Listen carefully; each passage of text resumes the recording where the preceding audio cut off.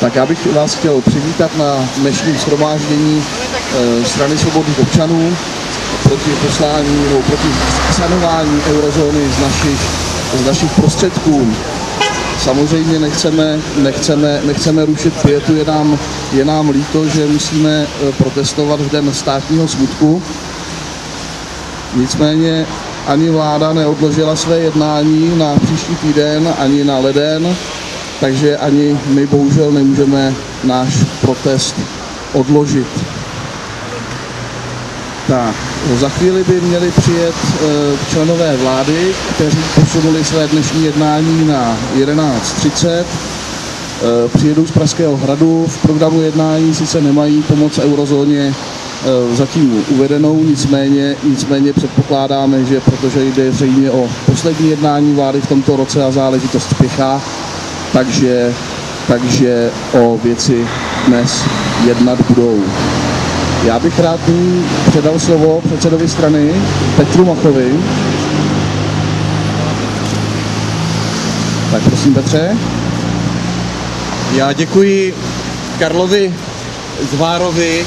Je to tak, že my nemáme radost z toho, že zde musíme protestovat, ale situace je taková, že Evropská unie nejprve dala ve čtvrtek ultimátum členským státům 10 dnů, aby se vyjádřili, jestli poskytnou dohromady půjčku 200 miliard euro přes Mezinárodní měnový fond na sanování krachující eurozóny. A my jsme, řekl bych, úspěšně demonstrovali před týdnem ve středu zde nedaleko na Klárově, kdy vláda jednala od 6 večer. My jsme se od 6 sešli a vyjádřili jsme podporu panu premiérovi v jeho postoji, v jeho váhavém nebo snad i odmítavém postoji proti poslání našich peněz do eurozóny. Vláda to ani ten den neměla oficiálně na programu, nicméně jednala o tom, jednala a její závěr byl, že zatím nerozhodne tu minulou středu a že chce další analýzy. Mezitím včera, když uplynula ta lhůta 10 dnů, tak takzvaný ECOFIN, ministři financí zemí Evropské unie, měli telekonferenci, nevím jestli po telefonu nebo jestli se i viděli na nějaké obrazovce, ale podle sdělení, které dala Evropská unie novinářům, vyjádřili čtyři země respektive ministři financí za své země ochotu přispět. A my jsme se všichni podivili, že tam je napsáno, že Česká republika vyjadřuje ochotu přispět, protože samozřejmě ministr financí k tomu neměl mandát vlády. Vláda nerozhodla, jestli dá nebo jestli nedá. A vláda řekla, že chce počkat na další analýzy. To znamená, že ministr financí neměl mandát neměl mandát k tomu ty peníze přislíbit. My jsme se zde tedy sešli znovu, po druhé, nevíme, jestli se budeme muset sejít ještě znovu, ale znovu jsme chtěli podpořit premiéra Petra Nečase, který se vyslovil proti tomu, že se mu nelíbí ta půjčka. A on zároveň první dny říkal, nelíbí se mi to, nechtěl bych přispět, ale nedovedu si představit, že bychom byli jediní, kdo nepřispěje. A po té včerejší telekonferenci my mu můžeme vzkázat, no my rozhodně nebudeme jediní. Protože nejenom, že Velká Británie odmítla přispět, nejenom, že ze zemí eurozóny nepřispívají ti tři, kteří jsou závislí na nouzových půjčkách už nyní, to znamená Irsko, Portugalsko a Řecko, nepřispěje ani Estonsko, ze zemí, které nejsou v eurozóně, nepřispěje eh, většina z nich, nepřispěje ani Bulharsko, ani Rumunsko, ani Maďarsko. Takže z té včerejší telekonference vyplývá, že pouze 13, to znamená menšina ze všech 27 členských států Evropské unie, vyjádřilo svůj závazek přispět na tuto půjčku eurozóně. Chtěl bych říct, že princip dobrovolné půjčky je, že musí být výhodná pro obě strany. Půjčku má smysl poskytovat tehdy, pokud za A sami nevíme, co s penězi, pokud za B je za půjčku rozumný úrok a pokud za C je velká míra jistoty, že se peníze vrátí. A u této půjčky ve výši 3,5 miliardy eur neboli 90 miliard korun neplatí samozřejmě ani jedno. Kdyby ta půjčka měla jít z devizových rezerv, tak by Česká národní banka musela prodat některé dobře uložené peníze, ať už to jsou dluhopisy Kanady, Švýcarska, ať už to jsou akcie, a musela by je půjčit na tuto nejistou půjčku eurozóně.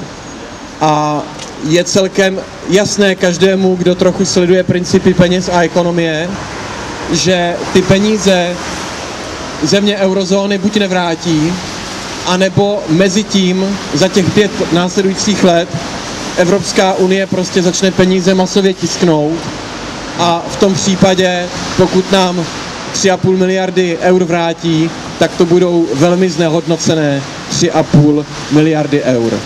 Je jasné, že tato půjčka stejně nemůže eurozónu zachránit a že jediná rozumná rada všem těm Itálím, Řeckům, Francím, ale i České republice a vládě Petra Nečase je vyrovnat veřejné finance, přestat hospodařit na dluh. Nemůžou prostě vyřešit své předlužení dalším dluhem, tedy další půjčkou. Poslední větu, kterou bych chtěl dnes vzkázat vládě, že by bylo velmi slušné vůči těm, kteří nás o půjčku žádají, tedy vůči eurozóně, dát jim co nejdříve vědět. Vláda by tedy neměla otálet a svým partnerům v Evropské unii, v eurozóně a v Mezinárodním měnovém fondu co nejdřív říct, že jim tu půjčku prostě neposkytneme, říct jim to ve vší slušnosti a říct jim to včas. A ne je tahat za nos, že nejdřív řekneme, že nevíme, pak řekneme, že možná, pak to zase zítra ministr financí odvolá, že se nerozhodlo. To je zbytečné vrhávání do nejistoty. Tedy říct jim co nejdřív naše stanovisko a naše stanovisko by mělo být, necháme si naše peníze, nepůjčíme vám je. Předávám slovo zpátky pražskému předsedovi Karlovi Zvárovi. Tak já děkuji Petru Machovi. E, otázka je, co dál, co dál říct. Víc řečníků pro dnešek nemáme, možná jenom snad tolik, že, že ta, e, ta naše půjčka má být jenom, jenom malou součástí má být jenom malou součástí e, velkého balíku asi 150 miliard euro, e, který by země Evropské unie e, chtěli, chtěli dát do ještě většího balíku, asi bilionu euro, který by snad měl být použit pro e, zachraňování těch e, států s fiskálními problémy. Ten balík asi toho bilionu euro by dále měl být sestaven, kromě tedy zdrojů z MMF, také ze zdrojů FSF a ze zdrojů Evropského stabilizačního mechanismu. Mimochodem proti schválení ratifikace příslušné změny smlouvy o fungování Evropské unie také pravidelně protestujeme. E, nicméně, nicméně už jenom tento způsob sebrání půjček e, nebo sebrání prostředků na sanaci těch zemí, které mají právě teď problémy, by vedl nejspíš k tomu, že i další země, které nyní ještě v problémech nejsou, by se do těch problémů uvrhly. A to proto, že například z půjček z FSF, European Financial Stability Facility, by si země jako třeba Slovensko museli vypůjčit vypůjčit prostředky na trzích, tím by zvýšili vlastní zadlužení a nejspíš by došlo také ke zvýšení úrokových sazeb, za které si půjčují. Vidím tady, vidím tady pana Zavadila, středočeského předsedu Svobodný. E, jistě nám i on chce říct pár slov, takže mu předávám mikrofon. Dobrý den, děkuji za slovo. Především chci vám poděkovat, že jste se tady v tak hojném počtu dostavili i v tom nepříznivém počasí, mrazu a, a dešti.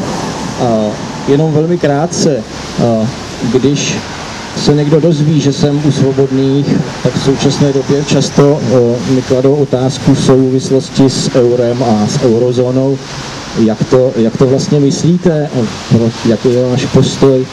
A, tak abych jim to lehce vysvětlil, jako srozumitelně, tady mluvil pan předseda Mách, mluvil pan Zvára, všechno odborné bylo řečeno. Já jenom e, řeknu, tak jak já asi lidem vysvětlu, v jakém stavu je eurozóna. Eurozóna je uh, nakažená, je nakažená rakovinou velkých dluhů. A řešení, které jí předepisují bruselští lékaři, je, mi připadá asi jako kdybyste vy přišli k doktorovi, ten vám řekl, je mi líto, máte rakovinu plic, pane. Kouříte? Jo, kouřím 20 cigaret denně, ale to je špatný. Abyste se uzdravil, musíte kouřit 40 denně, jinak to nejde. Asi takhle mi připadá řešení problému eurozóny. Předluženost, rakovinový nádor, řešit ještě dalšíma dluhama, nekonečně se protahujícíma. Toto není otázka letošního roku, eh, to je otázka minulých let. Takže asi takhle vysvětluju lidem a na tomhle tom, to v celku asi každý, každý pochopí.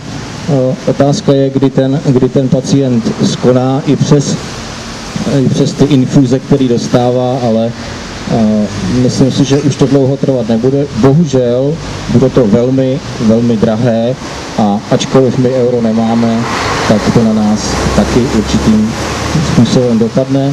Proto jsme tady, proto odmítáme pumpovat uh, další, další infuze do umírajícího pacienta a uh, snad jenom tím skončím, už ani korunu do Bruselu. Děkuji.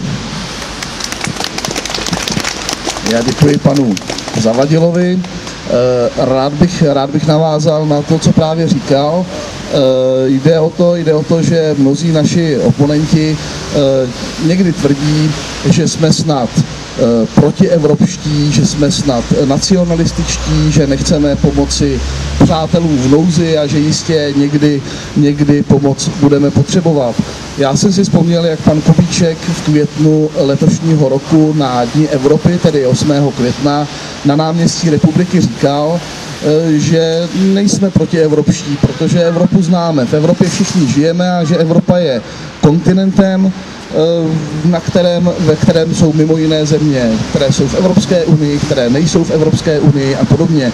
My z Evropy nechceme, my rádi budeme spolupracovat s ostatními státy, dobrovolně budeme rádi obchodovat, ovšem vždy jenom za podmínky vzájemné výhodnosti a tedy dobrovolnosti projekt Evropské unie, tak jak je postaven a jak je směrován dalšími změnami smluv, jako byla Lisabonská smlouva a nyní jako je změna smlouvy o fungování Evropské unie, eh, která umožní zavedení Evropského stabilizačního mechanismu, již není o dobrovolné spolupráci států a jejich firem, výrobců, jednotlivců, ale o centrální plánování a centrální hospodářství. Tak pokud už nechce nikdo další vystoupit, tak já děkuji všem, kteří jste sem přišli.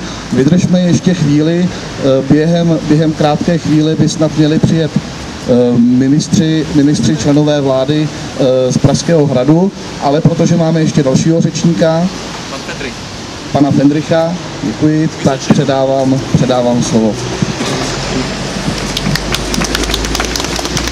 Dobrý den, já jsem Fendrich eh, z Vysočiny, jsem místo předseda Svobodných na Vysočině a jenom jsem vás tady chtěl všechny pozdravit z Vysočiny a jsem rád, že se nás tolik tady sešlo a jenom bych chtěl vládě eh, vzkázat takovou jednu věc, že na to rozhodování, jestli půjčit nebo nepůjčit, není potřeba selský rozum, který jim chybí, ale na to stačí obyčejné dětské ne. Tak to bych jim chtěl vzkázat. Děkuji. Já vím, že se to umí od třech let a dneska to asi zapomněli, ale já by to jenom připomněl. Děkuji. Tak děkuji vám. Konec konců, pokud vláda bude o tématu rozhodovat, bude to jistě zajímavé rozhodování. protože, protože stran, eh, strany vládní koalice eh, nejsou, zdá se, jednotné v názoru na téma. Eh, Pan premiér Petr Nečas říkal, že osobně je spíše proti poskytnutí půjčky. Paní Karolína Pík před časem obdivovala slovenskou svobodnou blízkou stranu Sloboda a Solidarita a pana bývalého eh, předsedu Slovenské národní rady, pana Richarda Sulíka, eh, obdivovala jejich zásadovost a eh, odvahu, odvahu nechat, nechat i pro tu zásadovost položit vládu, které se sami účastnili. Uvidíme, jestli členové vlády tu odvahu budou mít i tentokrát.